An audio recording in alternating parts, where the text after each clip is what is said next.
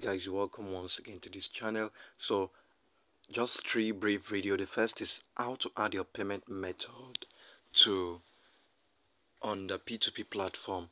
In order to do your buying and selling um,